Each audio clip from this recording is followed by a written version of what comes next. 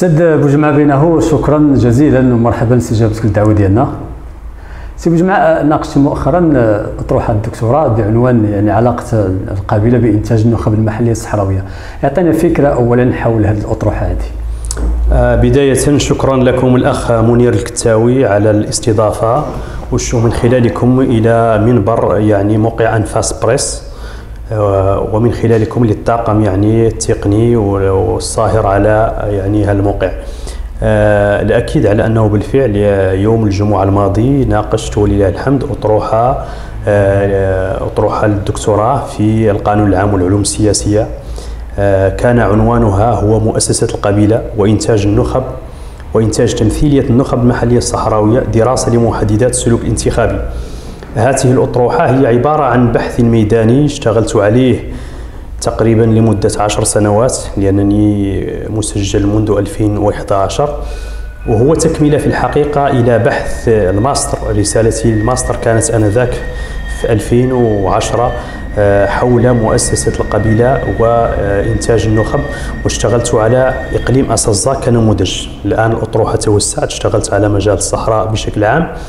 وهي تقف تنطلق من إشكالية هي قياس أثر تأثير تنظيم القبيلة على إنتاج النخب المحلية الصحراوية وذلك من خلال الوقوف على محددات السلوك الانتخابي هذه الأطروحة هي عبارة عن قسمين كبيرين.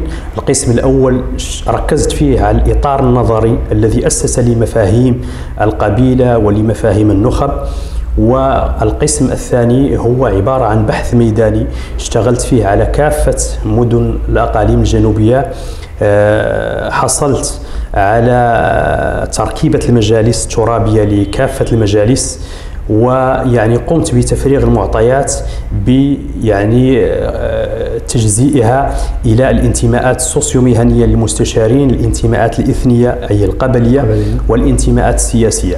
ومن طبيعة الحال يعني المنطلق الأساس والفرضية التي انطلقت منها الدكتوراه هي على أنه يعني يبقى آه، نظام القبيلة أو تنظيم القبيلة إن لم نعطيه مثلا مفهوم مؤسسة على أنه هو الأبرز في توجيه السلوك الانتخابي في منطقة الصحراء بشكل عام. إلا بغينا نبداو بتفصيل أكثر في الاطروحه، واش كاين تعريف معين للقبيلة؟ من طبيعة الحال أستاذ منير لأن القبيلة اولا هي تنظيم اجتماعي ولعل من كبار المفكرين الذين أصلوا لمفهوم القبيلة أو العصبية القبلية هو ابن خلدون. بطبيعه الحال ابن خلدون يعني أصل لهذا المفهوم وهو تنظيم اجتماعي إلى يومنا هذا قائم الذات ليس فقط في منطقة الصحراء بل في في مجمل يعني المنطقة العربية بشكل عام ولا سيما أيضا في المجتمع المغربي لأن هنا مثلا قبائل زعير قبائل سكساوة يعني روبير مونطاني اشتغل على مجموعة من القبائل. الدراسات الكولونيالية في المرحلة الاستعمارية اشتغلت يعني على مجموعة من القبائل في, في, في المنطقة. آه، هناك باحثين كذلك أجانب اشتغلوا على منطقة النوير في السودان ومن طبيعة الحال يعني هنا في المجتمع يعني الصحراء الصحراوي يعني تبقى الأرضية خصبة للاشتغال على موضوع القبيلة. هل يمكن الحديث الآن في هذا الظرف عن القبيلة رغم تطور الدستور والحداثة والديمقراطية على صعيد المؤسسات الدولة؟ هو من طبيعة الحال يعني بعد الدستور ولا سيما دستور 2011 الذي كان دستورا متقدما نحتكم إلى المؤسسات. وحينما نحتكم للمؤسسات يعني أعطى الدستور دور كبير للأحزاب السياسية في تأطير المواطنين. ولكن طبيعة الحال يعني هناك إشكالات في عمل دور الأحزاب يعني يعني لا تقوم بأدوارها إن لم نقل كلها ولكن هناك استثناءات من طبيعة الحال. يبقى يعني هناك مجالات أخرى مفتوحة للمجتمع المدني تنظيمات موازية وأيضا تنظيم القبيلة يبقى حاضرا يعني بمحدداته القرابية وبمحدداته الدموية آه، التي تربط آه، روابط اجتماعية ما بين أفراد المجتمع الواحد. كيف أبرزت بالنسبة للأطروحة ديالك تأثير القبيلة على إنتاج النخب؟ كيف يتم ذلك؟ من طبيعة الحال يعني ركزنا على يعني بعض المناطق. مثلا حينما نتحدث عن إقليم اسزاك يعني نجد بأن مكونا قبل هناك فسيفساء من القبائل تستقر في الإقليم ولكن هناك يعني واحد التواجد لقبيلة يعني وافرة وكبيرة ومن طبيعة الحال يعني تأثيرها جلي. في تشكيلة أغلب المجالس الترابية الإقليم. أيضا مثلا حينما ننتقل لمدينة السمارة نفس الشيء. يعني تقريبا تجد مكونا قبليا واحدا هو الذي يبسط سيطرته على مختلف المجالس. حينما ننطلق إلى مدينة الداخلة تجد كذلك مكونا قبليا واحدا هو الذي يسيطر على كافة المجالس. العيون هناك تشكيلات قبليه مختلفة ولكن بطبيعه الحال السيطرة تبقى لمكون ولكن تبقى الداخلة تشكل نوع من الاستثناء رغم أنه الداخلة هي حاضرة أولاد ليب ولكن في المجالس المنتخبة نجد فسيفساء كما قلت تنوع في تنوع قبلي كبير. من طبيعة الحال من طبيعة الحال ولكن رغم ذلك ستجد أن مثلا يعني رئاسة مجلس الجهة ورئاسة مثلا الجماعة أو على الاقل اغلب المستشارين يعني من طبيعة الحال هم يعني من انتماء تقريبا قبلي واحد رغم أن هناك من طبيعة الحال المجالس فيها فسيفساء ولكن يعني الهيمنة تكون للقبيلة التي يعني تتخذ من ذلك المجال موطنا لها وتتخذ ارتباطا وثيقا يعني بالأجداد وبالتاريخ وبالتالي يعني هناك توازنات هناك توازنات وهذه يعني نعم ولكن كيف يحضر المعطى القبلي في ظل أنه العملية الانتخابيه تتم على أساس الأحزاب والانتماء السياسي. كيف يتم ذلك؟ الاحزاب الأحزاب تلبس ثوب القبيلة. الأحزاب في الصحراء تلبس ثوب القبيلة. تجد بأن يعني له ارتباط بقبيلة معينة. ولو أنها هناك شخصيات ولكن شخصيات تلبس ثوب السياسي وثوب الحزب ولكن تشكل امتدادا قبليا. حينما نتحدث مثلا عن أحزاب أخرى لا أريد أن أذكرها ولكن يعني الأحزاب في منطقة الصحراء رغم أنها تبقى مؤسسات دستورية ولكن يعني القياديين وممثلي الأحزاب من طبيعة الحال يجسدون امتدادا لتلك القبائل في الأحزاب نعم ولكن مثلا بالنسبة للقبيلة كيف لها أن تتعامل مع مرشحين من أحزاب متنوعة داخل نفس القبيلة كيف كيف يتم حل هذا الإشكال؟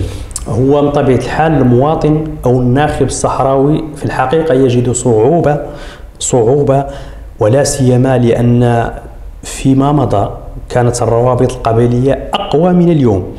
وكان يعني مثلا دائما يعني التصويت يكون لصالح ابن العم وابن القبيلة.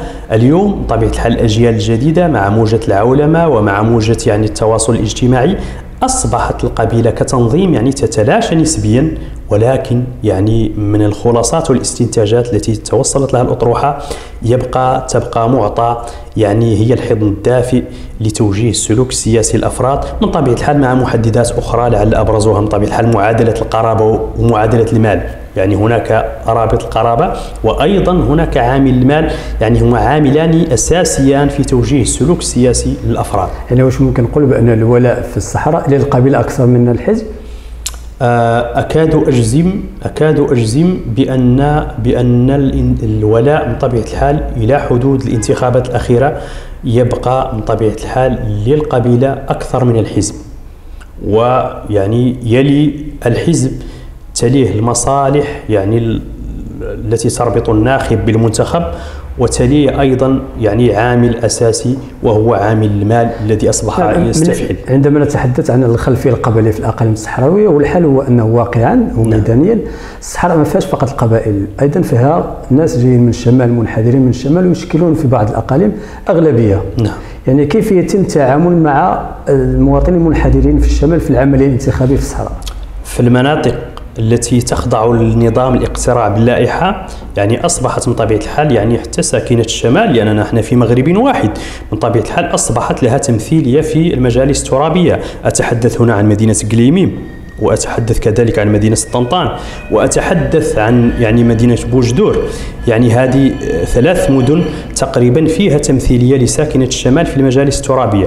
لكن في المناطق التي لها يعني نظام قبلي واحد مثل إقليم أسزاك إلى حد الساعة يستحيل يستحيل لأن أولا النظام اللي المعمول به هو نظام الاقتراع الأحادي الإسمي. الاقتراع الأحادي الإسمي وبالتالي إلى حد الساعة يعني أبناء المنطقة أو أبناء القبيلة هم الذين يصلون إلى المجالس الترابية. نعم إذا بغينا ننتقلوا أيضا إلى نخبة أخرى تكلمنا على النخبة المنتخبة. الآن واش كاين ممكن الحديث أيضا حتى على النخبة التي تقلد مقاليد الأمور في الدولة. يعني نجد أحيانا القبيلة تعطي اسم أو اسمين لتقلد هذا المنصب أو ذاك نعم. داخل الدولة. واش كاين هذا الأمر؟ طرحتي أيضا بالنسبة للعلاقه بطبيعة الحال خصصت مبحثا في الفصل الثالث من القسم الثاني عنونته بعينات نماذج. نماذج لعينات لعينات آه، والسير الذاتية لبعض النخب المحلية. الانتماء والمسار. وجزأته لثلاث يعني مطالب. المطلب الأول نخب. الإدارة الترابية نعم. واشتغلت على حالة بعض الولاة وانتماءاتها القبلية ومطلب أفردته لنخب الأحزاب السياسية وأفردته كذلك لنخب القبائل داخل الأحزاب السياسية ومطلب ثالث خصصته لشخصيات حظيت بمنصب وزاري ولكن بطبيعة الحال حظيت بمنصب وزاري لامتداداتها القبلية لأن الدولة كذلك رغم أنها هي هي الأم ولكن يعني تتعامل كذلك مع نخب المناطق الجنوبية بامتداداتها يعني خلفياتها القبلية. ومن طبيعة الحال تجد يعني تلك الامتدادات وتلك الوزن القبلي يعني له حظوة داخل دوائر القرار السياسي. نعم، من خلال هذا الرصد هذا واش ما لاحظتش بأنه أحيانا المعين من خلفية صحراوية في منطقة صحراوية يجد صعوبة في الاندماج عكس مثلا معين القادم من الشمال. نعم. سواء كان والي أو مدير مركزي أو رئيس مصلحة معينة. ما لاحظتش هذا الأمر هذا؟ من طبيعة الحال هو هو صعوبة الاندماج يعني أحيانا تكون تكون متبادلة ولا سيما يعني من يعني مواطن قادم من الشمال إلى الجنوب وأحيانا كذلك لمواطن يعني قادم من الجنوب إلى وافد على مدن شمال المملكة. ولكن يعني أظن بأن اليوم الأمر أصبحنا نتجه إلى الدولة الأمة أو الدولة دولة المواطنة. وبالتالي يعني هذا الشيء تكرس بعد هذا الدستور اللي أفرز يعني في ديباجته على أن المغرب يتجه إلى نظام الجهوية المتقدمة وبالتالي يعني أصبح المواطن أينما كان في المغرب ينصهر في المجتمع لأننا نشكل أمة متجانسة بشقيها يعني العربي الأمازيغي العبري يعني أمة واحدة. بغيت أيضا بالنسبة للخلاصات واش ممكن تكلموا على خلاصات من هذه الأطروحة هذه؟ من طبيعة الحال الخلاصات يعني خلاصات اولا القبيلة كتنظيم اجتماعي لا زال مستمرا في المناطق الجنوبية.